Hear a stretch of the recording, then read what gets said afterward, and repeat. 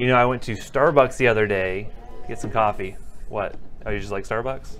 Yeah. Starbucks is good. Today's happy hour?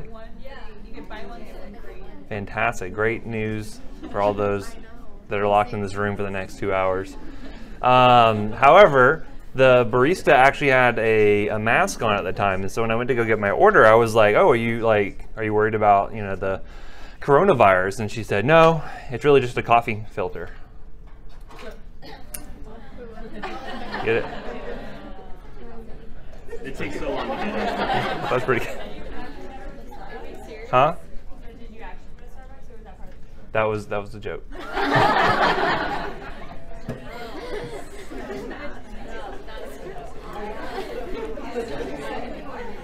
let's just let's just cancel class. No, I'm just kidding. No. All right. Uh, so anyway, we were talking about acute kidney injury. We're talking about ways, uh, some ways to prevent it. We talked about fluids being really the, one of the best ways to help make sure that the patients are tanked up from an intravascular sort of standpoint. Um, we talked about some antioxidants and things like that. Once they actually have it, again, not a whole lot you can do. There are things people have tried, especially uh, if the patients are maybe oliguric and you're trying to increase some of that urine outflow, especially to get rid of some of those things like potassium and, and whatnot. You're going to find a lot of these are not going to be super effective, but it's still good to kind of cover them because you may see them being used for these purposes here. So the first one we'll mention is one called mannitol, uh, and this is something you may not see necessarily used a lot from a diuretic perspective, but you may see it used in some other cases, which I'll, I'll make mention of in just a few moments here. Basically, this is an osmotic diuretic, so it has a high osmolarity to it and is able to basically draw extra fluid into the renal tubules such that you should increase urine outflow. typically not used as sort of like a, long-term sort of diuretic, um, really for short-term use.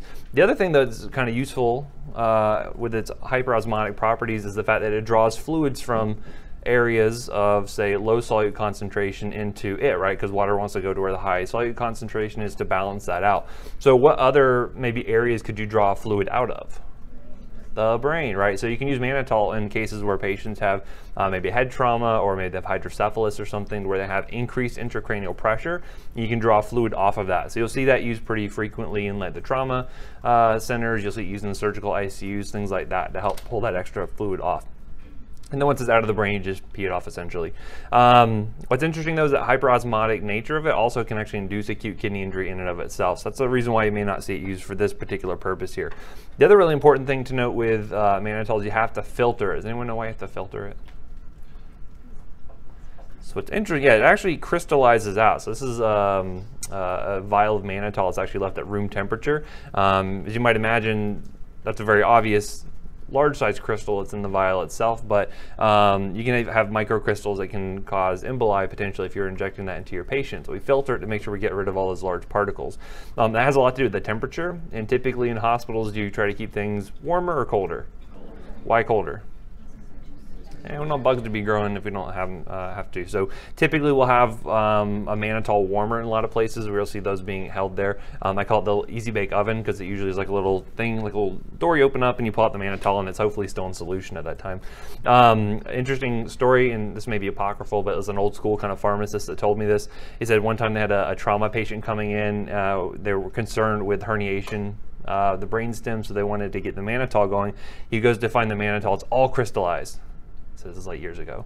Um, and so he said, okay, what can I do to heat this stuff back up? He says, I know, I'll go get a microwave. I'll use the microwave in the cafeteria. So it takes a couple of vials of mannitol, runs over to the microwave. And what do you think happens to a glass enclosed uh, sort of vial like this when you heat up the contents? it perhaps explodes and all that glass comes out as shrapnel essentially. So he says there's a big chunk of it sticking out of his uh, his badge, which makes it sound like he's hyperbolizing the story a little bit. But um, point being is that you have to warm the stuff up to get it to go into solution, and microwaves are probably not the best way to do that. So. Anywho, um, we will oftentimes see loop diuretics being used. We know these to be the most potent sort of diuretics that we have. Um, again, pretty well tolerated, cheap. Be wary if they have a sulfa allergy. You know, things like furosemide may potentially cross-react. Um, what's a safe one to use if they had a true blue sulfa allergy? Remember the ethacrynic acid. Yeah, that one's typically pretty safe there. Um, but Bumex, torsemide, things like that are going to be better, uh, uh, more commonly used in a lot of cases that maybe you've seen ethacrynic acid once or twice. Um, You'll find though that you may have patients that can actually develop diuretic resistance here, especially if you're trying to use these um, in a more chronic sort of sense here. And so typically some things we can do, if maybe they're on oral you know, loop diuretics, you can switch them over to parenteral. That can certainly help. Um, there's not really a ceiling dose that you're going to see with your, a lot of your loop diuretics. You can keep pumping the dose, but eventually you're going to get have kind of a plateau effect. You're not really going to get much more bang for your buck there. Um, sometimes we'll use continuous loop diuretic infusions. Um, sometimes what we'll actually do is add on other agents that can help out with this. Because again, if you imagine if you're blocking sodium reabsorption in which portion of the renal tubule with loop diuretics? The ascending loop of Henle, yes, very good. Um, you can end up seeing increased water and salt reabsorption in the, uh, the distal convoluted tubule to kind of make up for that. And so in which case, by using a thiazide that works in that distal convoluted tubule, you get better synergy there, and that can help to uh, kind of resume normal or kind of help to increase that urine output a little bit better for those patients there. Um, but keep in mind, you know, depending on kind of what level of function they had prior to the acute kidney injury, um, if the nephrons just aren't working that well because they've been degraded over time, that this may not be, you know, the most helpful thing that can uh, that can work for that. Um, so just be aware that you know that can be an issue. This loop resistance. There are some ways we can try to get around it. So. Um, be wary with your thiazide diuretics because a lot of them end up losing function as you get lower and lower creatinine clearances. The one exception is metolazone. That one always will continue working even at creatinine clearances less than 30 mLs a minute. Uh, remember that's when I said that uh, a nephrologist told me one time that it can make a rock urinate essentially. Um, so always remember that one because rocks, uh, I don't know if you know this or not, their, their kidneys are notoriously poorly functioning. And so if it can make that pee, then it's got to make anything pee right. So typically if you had a patient who really had you know, significant decreases in their GFR, such that they may be down like 15, 20 mLs a minute, you could use something like a loop that will retain efficacy there plus something like metolazone and get that additional benefit. So um, other things you can try, maybe something that work more in the collecting duct, like a potassium sparing diuretic, spironolactone. Um, you can try those, but again, you get diminishing uh, effects as you get into those less potent sort of diuretics. So in terms of electrolyte management, this is going to be a big thing to watch out. So you have to watch their fluid levels, you have to watch their sodium, you have to watch their potassium, magnesium, and things like that. Um, typically for these patients, due to a lot of fluid retention, they can also have a lot of sodium retention as well. Um, ways we can help out with that, including things like helping to limit sodium intake if we can. If they're in-house, we have pretty good control over their diet for the most part. Is that always true? Why not? People can sneak them food, you know. Um, had one guy. Did I ever tell you about the guy uh, who uh, was admitted for drinking isopropyl alcohol, for rubbing alcohol? So he, this is the guy who uh, came as a bit of a tangent, but kind of shows you the way that patients will kind of get around the system a little bit. Um, we had a patient who uh, was admitted for drinking isopropyl alcohol. He found altered uh, by the police. They brought him into the ER, and so he ended up admitting him until he could clear off um, the rubbing alcohol from his system. So we're doing serial monitoring um, for why, why would someone drink isopropyl alcohol anyway? If they can't afford regular alcohol, I don't know if you've actually gone to the store before, but you can buy rubbing alcohol extremely cheap. And actually, it's twice as intoxicating as rather regular ethanol. I would not suggest drinking it though. You get hemorrhagic gastritis. It's not great. But when you're in a bind, people resort to alternative measures. So this guy did that, ended up being admitted. And so we're monitoring him kind of serially at his, his uh, serum osmolarity to watch that kind of come down um, as he was clearing off the isopropyl alcohol. Actually also turns into acetone, so we're watching that as well. And so we're watching it go down, down, down by day. And then all of a sudden it spiked back up and we're just like, where's that coming from? So it did an ethanol level on him and it was actually positive. And we're like, well, where's he getting the ethanol from? This guy didn't really have any family members coming to see him, but where do you think he's getting it from? The hand sanitizer on the unit. So he was actually using the foam sanitizer. He would uh, put it on top of his jello, or he would just squeeze it into his mouth. And where there's a will, there's a way. And so again, you'll find patients will, will go out of their ways to, to you know circumvent your orders that you have for them. So even though you have the best uh, best intentions, they, they may go around that. So anyway, point being is that um, try to limit that sodium intake. But if you have some of these patients, especially someone with like a real true blue SIADH, like they have that really strong thirst response, that really strong salt intake response, and so they, they will you know try to bribe their family members and nurses to go down to the cafeteria, get them some French fries or something, but try to limit it as best you can. Um, helping out with this as well, things like renal replacement therapies, if indicated, can help to pull off some of those extra electrolytes like your potassium and magnesium and whatnot You'll find um, that like phosphorus is not going to be so great here. Magnesium is a little bit pulled off, um, so you may have to watch that. And, and, phosphorus can really be a big issue, especially if you have things like rhabdomyolysis occurring here, or if you say you had a crush injury from a trauma or tumor lysis syndrome. All those things can eventually cause uh, high phosphate levels to be developed. And then you have to watch the calcium as well, because if you make the calcium phosphate, does anyone know what happens? They form calcium phosphate, and it's actually um, it's not soluble in, in, water typically, so it'll crystallize out, and that can cause emboli throughout the body. Not great. So you have to make sure you're watching that product there. We'll talk more about that uh, factor when we get to the chronic kidney disease stuff a little bit later on. Um, also interesting though that patients on renal replacement therapy can actually develop hypocalcemia. And the reason for that is, is that when we're taking the blood out of the patient and putting through all this plastic tubing, it being exposed to sort of this non-organic sort of material can actually stimulate the clotting cascade to occur. And if you recall back to that clotting cascade um, many months ago when we talked about that, you'll remember that calcium was a really important uh, cofactor for helping to stimulate the activation of a lot of those clotting factors. So what we do for them to prevent the circuit from clotting off is we'll actually give a uh, anticoagulant that's citrate based. So basically the citrate will bind up to the calcium, form calcium citrate, and then it doesn't interact with the clotting factors any longer. However, you bind up all that calcium in the unit or in the actual circuit, put it back into the patient, they develop hypocalcemia. So in some cases, you just have to watch that and maybe actually give them some additional calcium to re, kind of resupplement that. That make sense, how that, me that mechanism there? You know, citrate anticoagulant binds to the calcium, and then they develop hypocalcemia from that. So those are the things we can do to help manage those acute kidney injuries when they occur, but ideally we'd like to prevent them from happening in the first place. Any questions on that?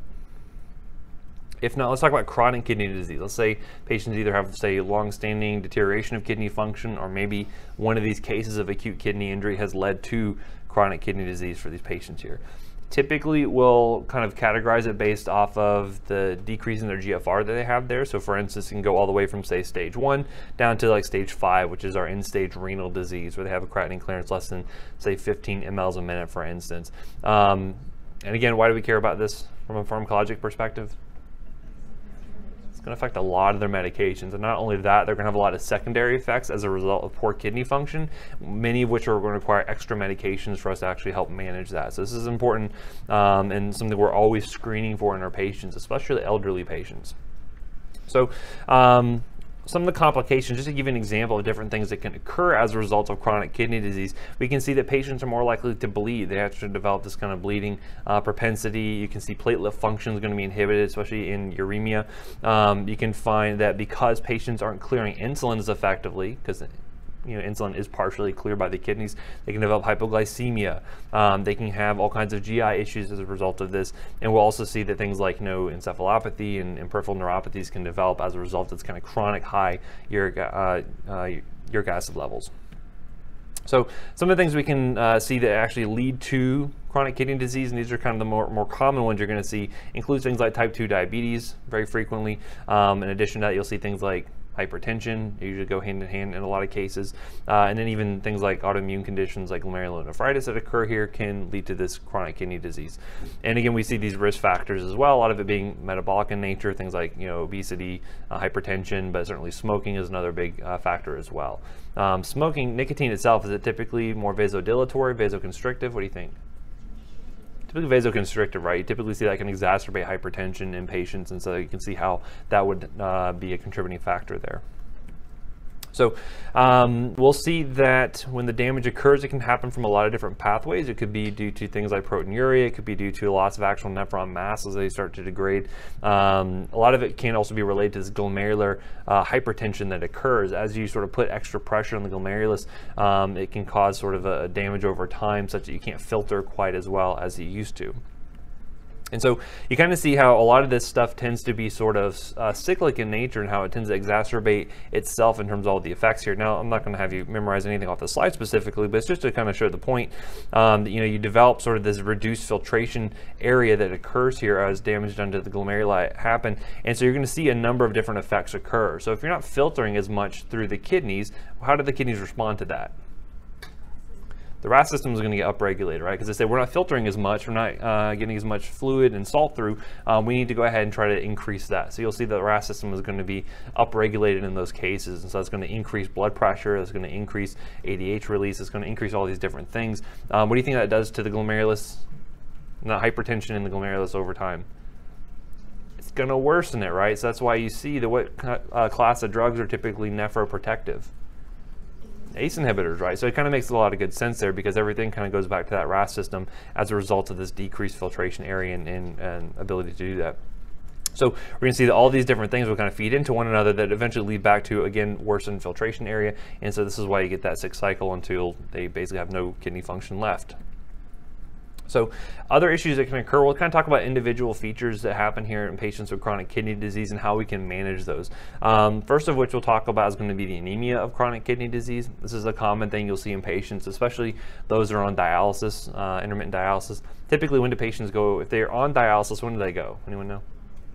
Yeah, usually Monday, Wednesday, Friday. A lot of times you'll see them in the ER. They'll go for Monday, Wednesday, Friday for four-hour sessions. Um, you'll typically see them in the ER on Saturdays or Sundays because they forgot to go on Friday perhaps, or they had something to do on the weekend, and so they skip it. And guess what? Now they come in because they're hyperkalemic and uh, having all kinds of other issues. So but anyway, so what you're going to find is that a lot of the erythropoietin that we have actually comes from the kidneys themselves. And so as kidney degradation occurs, you end up losing that function. You're going to be releasing less and less of that erythropoietin. So you end up developing this kind of normochromic, normocytic anemia. Basically, they don't have the stimulus to produce those new red blood cells. But you also have iron deficiencies that can occur in these patients as well because you'll have things like decreased GI uptake. Um, also in these patients, they're going to have a lot of blood testing being done, right? A lot of blood draws can eventually lead to anemias as well. Um, just the dialysis circuits in and of themselves, they can start to lose uh, some blood from that additionally.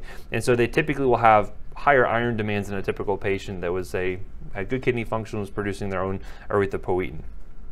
We're going to see here that we'll have agents that we consider to be erythropoietic stimulating agents or ESAs. Those are going to kind of be the cornerstone of therapy here. But if you're not also supplementing them with appropriate amounts of iron, what's that EPO going to do?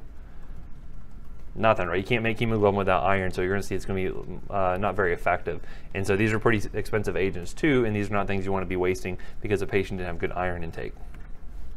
So other issues that are going to happen here include things like um, kind of bone and mineral related disorders that occur as a result of chronic kidney disease. And we'll see here um, that there's a lot of abnormalities because they can't process things like calcium and phosphorus appropriately through the kidneys in and of themselves, such that you're going to see issues with PTH. You're going to find um, that they're going to have high, eventually high levels of both calcium and phosphate, which can precipitate out and lead to um, calcifications potentially.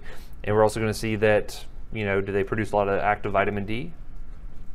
Because they don't have that ability to have that second activation step in the kidneys. And so you'll see a lot of bone turnover and we'll see osteodystrophy that can occur here. So basically what happens for these patients with their uh, bone and mineral related disorders here, oh, you'll start off by having decreased renal function for these patients here. That initially is going to lead to less phosphate being cleared through the kidneys. So you're going to build up phosphate levels, you have hyperphosphatemia. That extra phosphate then starts to bind up the calcium that's there in the bloodstream, okay?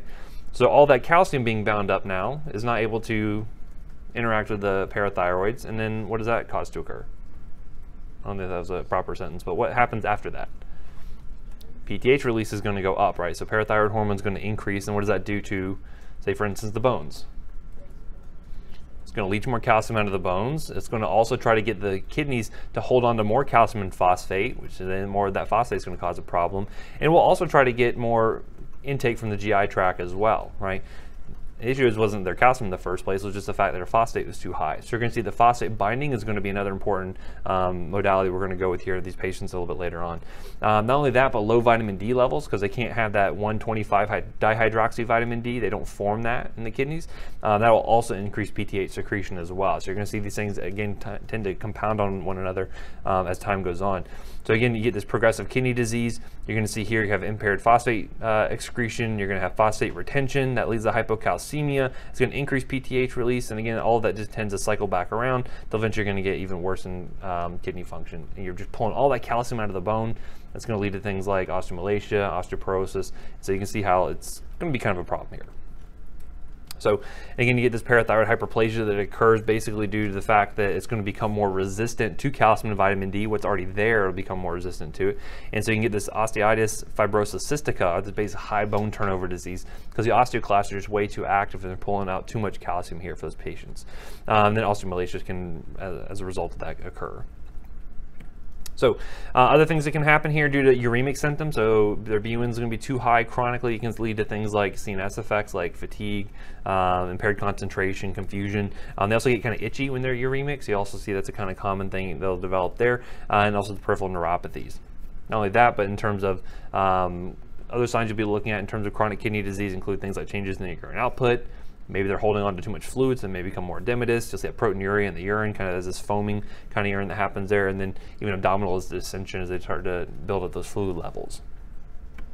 So um, what are we going to do for these patients to get into actually how we're going to manage them? Ideally, we'd like to prevent any further progression of their kidney dysfunction as much as we can. Can we do anything to reverse it?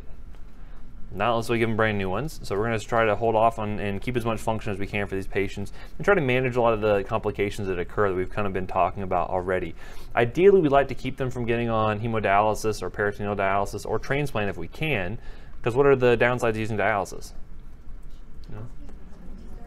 Infections can be a big thing that can happen there. Once they're on it, then they're typically dependent on it for a long time, uh, rest of their life potentially. And so again, all the complications, making sure they're going every Monday, Wednesday, Friday at their dialysis, or whatever they need to do, however they're doing it. So uh, if we can limit that need, that's always going to be a big deal.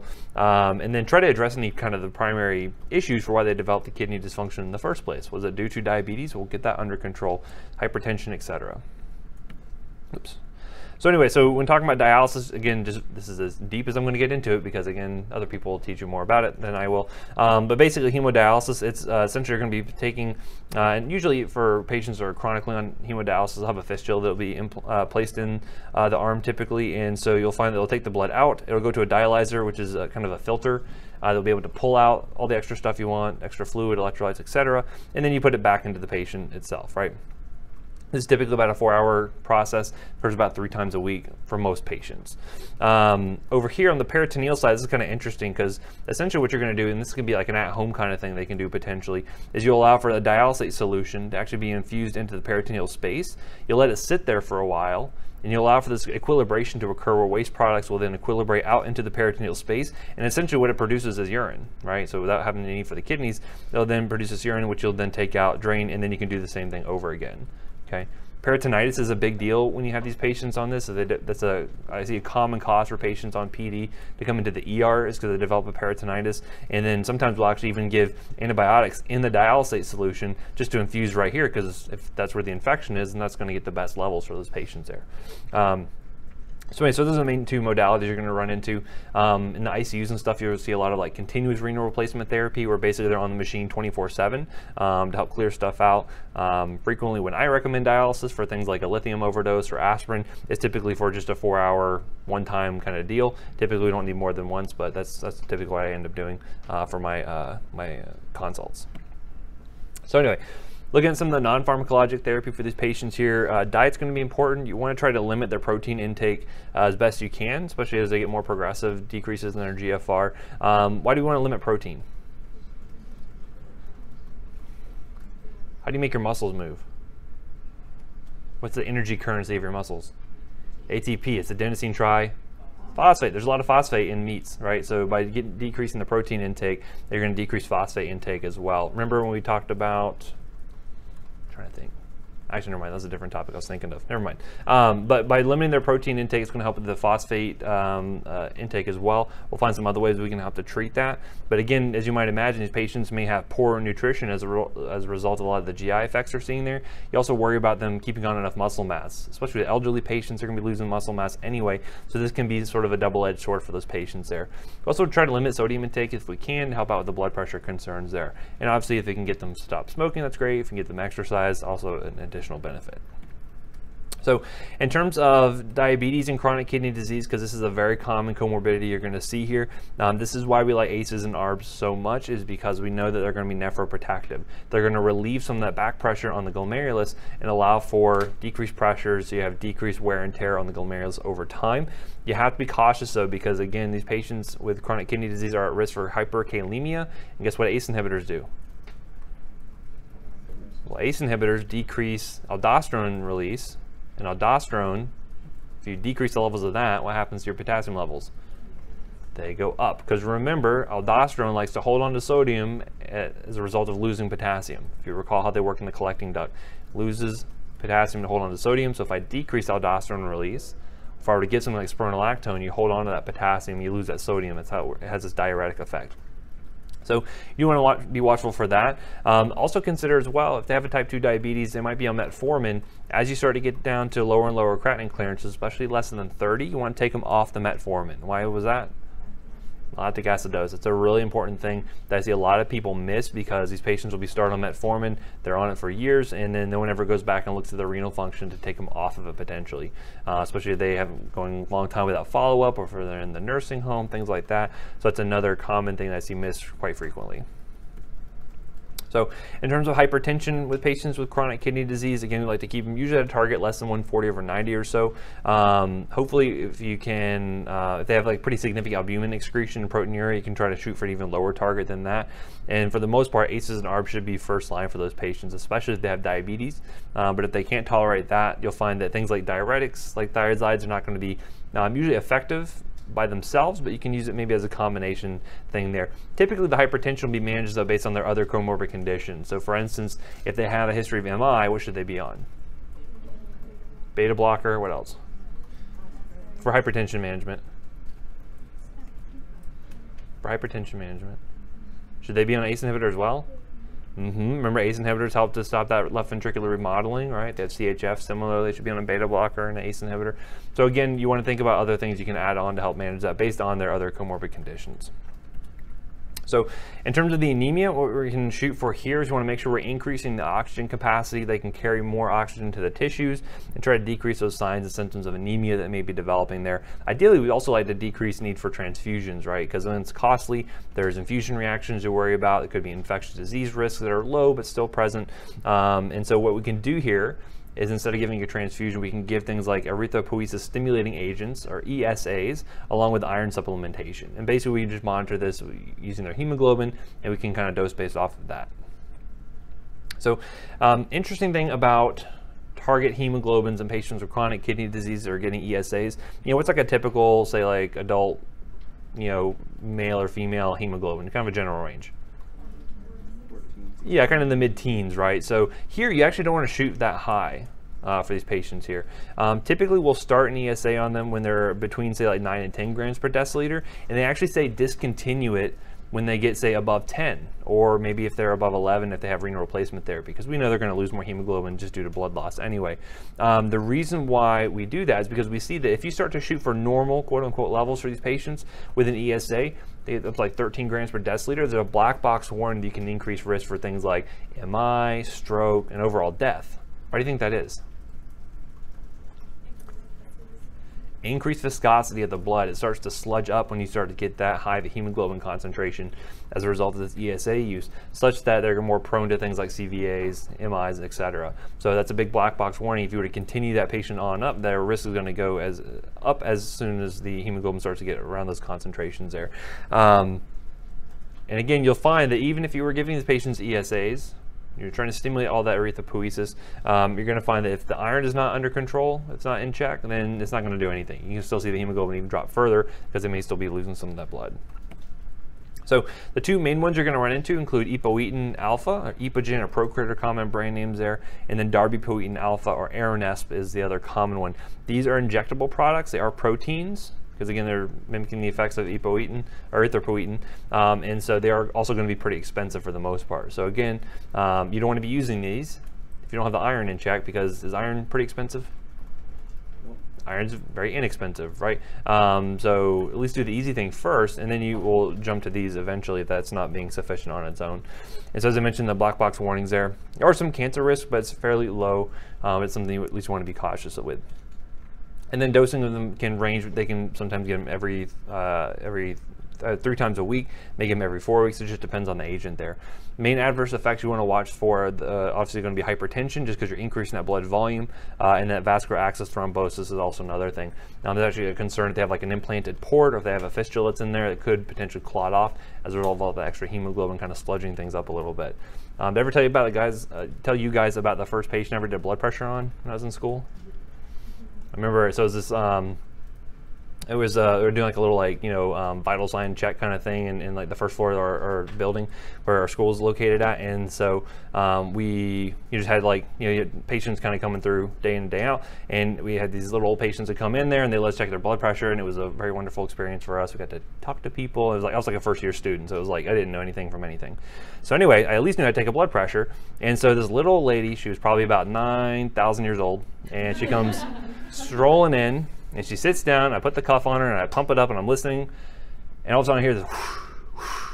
I'm like, what does that sound? This does not sound like what I was told this would sound like. And she's like, oh yeah, it's my fistula. And I'm like, why are you letting me put all this pressure on the fistula? I thought I was going to break something or kill her or something like that. I don't think she died. I think I saw her the next day or something. She was okay. But I was like, you should probably warn people about that sort of thing beforehand. So anyway, my first time doing a blood pressure on an actual patient, failure, total failure. But which is why I'm still in pharmacy and I don't actually do what you guys do. So there you go. Anyway, so looking at the iron status, um, again, this is going to be required almost by every patient who's going to be on the ESA, and you need to make sure you're also keeping um, proper control of the other cofactors as well, things like B12 and folate, which can also sometimes be diminished with patients who are on that renal replacement therapy. You'll typically find that iron absorption is going to be pretty poor for these patients, maybe only about 10% of what you would expect to be absorbed is going to. Um, so in those patients, oral intake by itself is not going to be sufficient. What are some problems with oral intake of iron though? Constipation is a really big thing. So abdominal distension, GI upset, constipation is a big one. And so you also want to consider, okay, do they have other things that could be exacerbating that? So be, be cautious there. There's a lot of different oral iron preparations that are available. These are just three, but there are some more that are out there. But things like ferrous sulfate, ferrous gluconate, ferrous fumarate, they all have different salt contents in terms of the iron. So you always want to make sure you're dosing based off the elemental iron content. So as an example, if you look at a ferrous sulfate tablet, it's 325 milligrams of ferrous sulfate, but it's only 65 milligrams of elemental iron. When you're dosing it, make sure you're doing it based off the elemental iron content. So that way you can switch between formulations and get an accurate dose of those patients there. Because it'll be pretty different between, say, like a ferrous fumarate versus a sulfate. So we also have some IV preparations that are available. This is for patients who are trying oral therapy, but it's just not really um, cutting the mustard, so to speak. They still can't get adequate levels. This is where you can come in for IV infusions of iron. Now, iron usually, once it's in the system, once it's bioavailable, which via IV it's 100%, it'll stick around for a while. So these are going to be intermittent infusions they may be getting maybe every couple of months or so, depending on what their levels are doing. But we have examples like iron dextran, sodium ferric gluconate, iron sucrose, and uh, ferumoxytol. So as I mentioned, the constipation, the GI effects are really going to be the big thing you're going to see here. Anyone know what color the iron turns your feces? Black. Is that a concern for patients? Why would it be a concern? Because we're about upper GI bleeds, right? Did I say these patients have bleeding risk? Mm-hmm. All right, so again, these are things you want to warn the patient about. Let them know that, hey, could impart kind of a black discoloration. It's not going to be that same kind of tarry sort of um, consistency like melena would actually be, but it's something to at least be aware of. Um, with the IV formulation, so you have kind of a different set of things to worry about. You have things like allergic reactions that can happen here, and if you infuse it too fast, you can even see things like hypotension, headaches, and dizziness associated with it. You kind of get this vasodilatory sort of effect um, that can make patients feel pretty miserable. You got to make sure they're not a fall risk, etc. So we slow down the infusion, and it does help out with that pretty significantly. Afterwards, they can also develop some arthritis, some arthralgias as a result of the infusion as well. So different adverse effects depending on the dosage form, but it kind of makes sense that the oral iron causes a lot more GI side effects.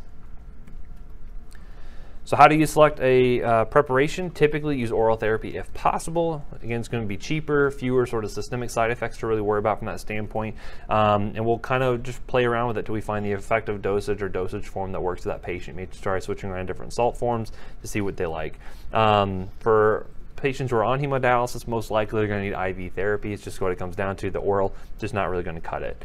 And so then you can monitor the iron status usually every three months or so while they're on the ESA therapy. You're going to be monitoring their hemoglobin anyway to make sure that it doesn't get up too high, um, and then kind of go from there. And again, these patients are coming into the dialysis center three times a week, so it's like it's not like you're going to uh, not run into them and be able to do labs when you need to. Um, so this is something to, to kind of consider. So um, getting into the bone stuff we can manage for these patients here, the bone and mineral disorders. Um, typically we want to try and sort of normalize as much as we can here. Um, it may not be completely possible depending on uh, how severe the renal dysfunction is. The ideal we'd also like to keep the bones intact and try to prevent any sort of um, say cardiovascular or extravascular calcifications from occurring as a result of that high phosphate and calcium levels there. And then overall, if we can reduce morbidity and mortality, that's great. And then ultimately though, one of the things you should be shooting for is to try to make sure you're keeping a calcium phosphate product less than 55. So basically what that means is if you were to uh, multiply their calcium times their phosphate, if that number comes up higher than 55, then there are increased risk for having those calcifications occurring, right? Because if you're increasing concentrations of both, the solubility is going to eventually go where it's kind of oversaturated and it'll just bind up together and then that's it. This is also another big thing that we have to worry about from a pharmacy standpoint when we're mixing together electrolytes. We don't want to make sure we don't mix too much calcium and phosphate. This is a big thing we do when we do, um, you guys know what TPN is? Total parenteral nutrition. We were doing a lot of our neonates over at Nemours. I think just you know, Monday when I was there, I think we had eight or eight or ten um, TPNs we did for our patients, and uh, I think maybe six or seven of them were in neonatal patients. And as you might imagine, uh, our neonates at pretty big risk for things like electrolyte disturbances and fluid imbalances and all. Yeah, of course. Um, and so that's one of the big things we watch for is make sure the calcium and phosphate levels are not too high in, in the actual solution to cause precipitation to occur. But anyway, uh, in addition to that, we're also going to watch their PTH levels and try to keep those at a somewhat normal level.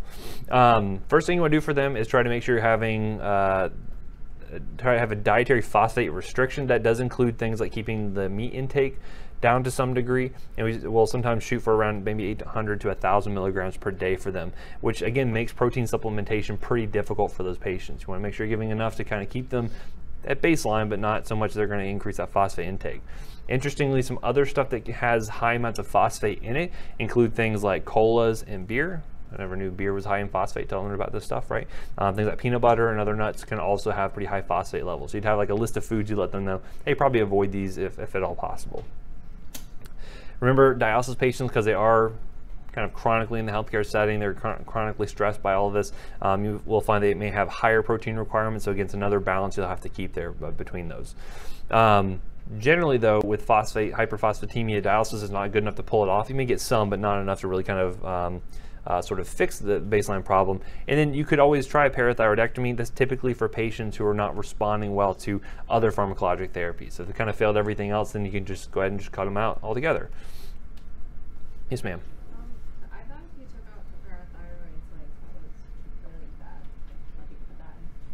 Um, you can survive without them. People have parathyroidectomies.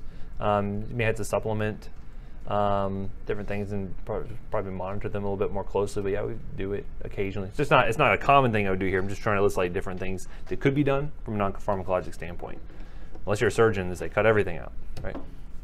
Anyway, um, so getting into the, the medications we can use here, phosphate binders are going to be um, uh, kind of mainstay of therapy for a lot of these patients. Um, basically, they'll bind up phosphate in the GI tract and prevent them from being absorbed in the first place. Basically, become insoluble just like it would if it was in the on the systemic side of things, but you can do it out in the GI tract. Um, this is nice because we have a very easy one that we can administer to these patients. Calcium carbonate, it's easy enough, right? You can get Tums fairly cheaply. Um, what can calcium carbonate also cause from a GI tract standpoint though? Constipation right now, they're starting to see we have multiple medications here. Also, if you're giving oral iron supplementation, does that bind to calcium?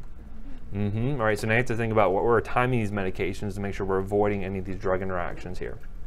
So another one could be like calcium acetate or PhosLo. It could be in a, that's a prescription-based product. So if they maybe cannot tolerate Tums for whatever reason, you can potentially try something like calcium acetate. If they're hypercalcemic, maybe you don't want to give them any more calcium. In which case, we could try other things like sevelamer carbonate, lanthanum carbonate, or aluminum hydroxide. All three of those um, are going to be prescription-based products, and they all have some some limitations to them, as we'll see in just a moment. So, as I mentioned, um, these calcium-based products are typically nice uh, to be used kind of early on in chronic kidney disease. Um, a lot of times these patients tend to be hypocalcemic, mainly because their high phosphate levels are binding up all that calcium. So again, early on, maybe calcium carbonate is a good one to start with. Later on, when they're hypercalcemic as well due to diminished function, you may want to switch over to something uh, alternative to that. And so um, here it's important to make sure that you're going to be giving um, calcium carbonate in more acidic medium. So again, when when's your stomach kind of releasing the most acid? Around mealtime when you're taking most of your protein in? around mealtime. So it kind of makes sense you kind of use these all at the same time there to try to bind up some of that extra phosphate.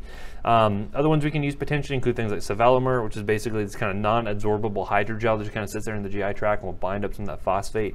Um, can have some nice effects on the lipids. It's a minor effect, but maybe beneficial for them. And then the aluminum we don't really like so much anymore. Aluminum itself uh, is, is actually neurotoxic, and what would happen for these patients is they would not be able to clear the aluminum from the kidneys, and they would kind of build up levels over time. So that one's not, uh, not ideal, but it could be an alternative if need be.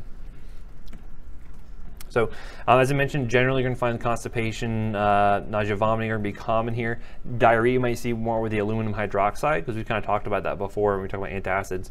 That can be a common thing there. And then obviously hypercalcemia is a concern if you're using a calcium-based product, right? You wouldn't see that with like sevelamer or lanthanum. Um, and then from an aluminum standpoint, again, this is going to be usually held off mainly because we're worried about that CNS toxicity that can occur over time. Um, also, you can have a worsening anemia because the, the aluminum can actually uh, be absorbed preferentially to the iron, and that can be an issue causing um, even worse anemia for those patients there.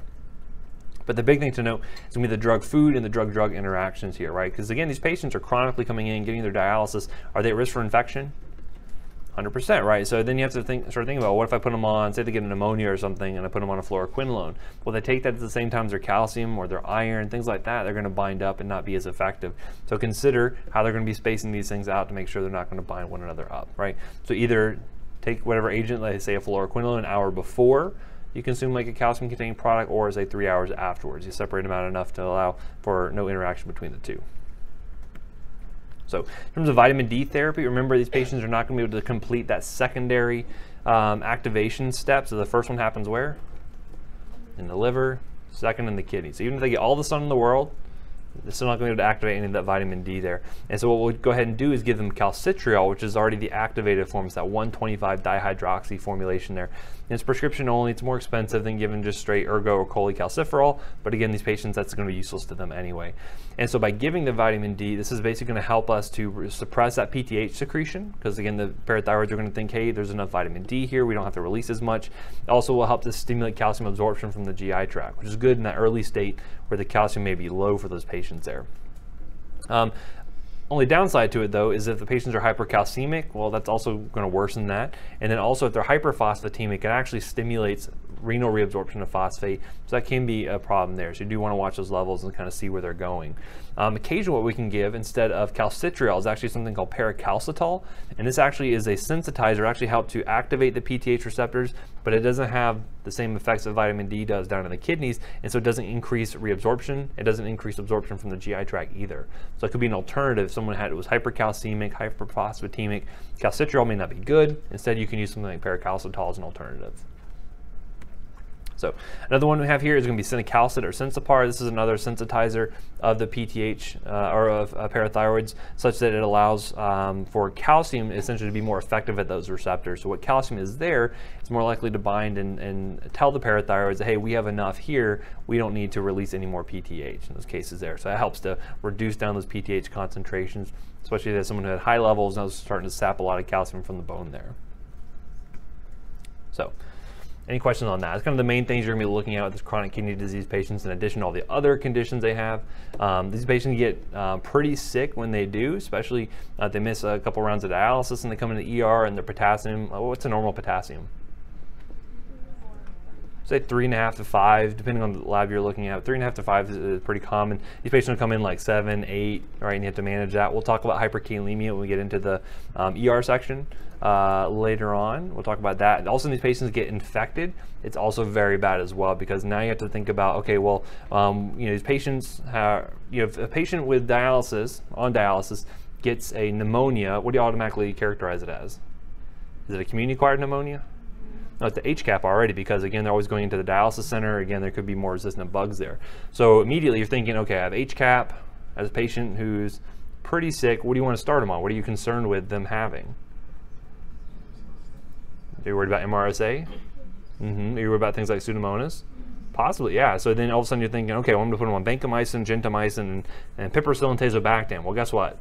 All three of those require renal dose adjustments, right? So now all of a sudden you're looking at, okay, well, how frequently do I give these? What doses am I giving? Something like vancomycin, I may only give, um, say, every 48 hours potentially because their body just can't clear as much or as well.